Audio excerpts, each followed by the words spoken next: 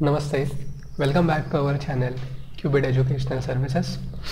I am Pranesh. We are solving the IISER Aptitude Test 2021 Physics MCQs and uh, this is going to be our 10th MCQ, 10th video in that series where we shall be solving an MCQ based on photoelectric effect and the de Broglie wavelength of particles. This is question number 55 from the paper. In an experiment on the photoelectric effect, the de Broglie wavelength of the emitted electron is lambda b. The energy of the photon incident on the metal is 5 times the work function.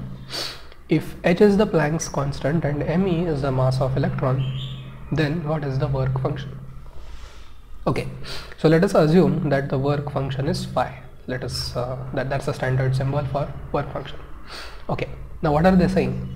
Energy of the photon incident on the metal is 5 times the work function okay?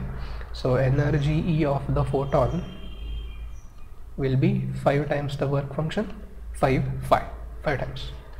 Now out of this energy what fraction will be utilized for the electron to come out of the metal? That is equal to the work function okay? So the energy of the emergent electron what we call a photoelectron.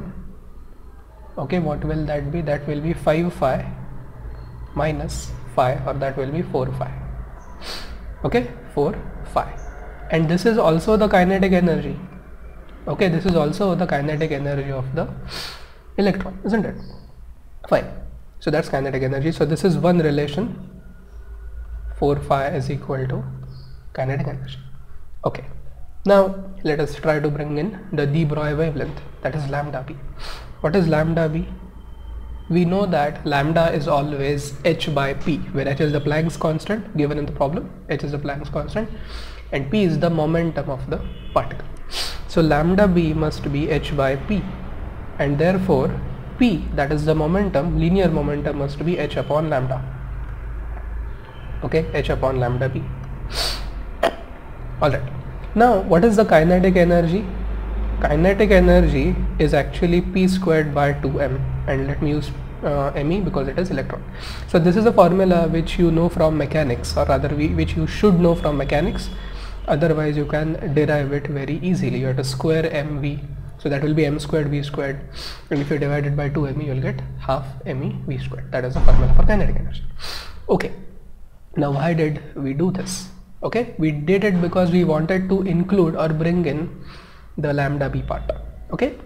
So now what I'm going to do is we have this 4 phi here which is the kinetic energy. Okay? And that I'm going to equate that with this. Okay? So pay attention. 4 phi is equal to kinetic energy which is p squared by 2 me therefore work function phi will be p square divided by this 4 will now sit here in the denominator so 8 into me but what is p? P is uh, h upon lambda b. Correct? So let us now substitute it. So p squared will be h squared upon lambda b squared so 8 me lambda b squared. 8 me lambda b squared in the denominator 8 me lambda b squared in the denominator. In fact, all four options differ only in the constant in the denominator and that is 8 the right one 10 12 and 4 are not going to work. So 55 option a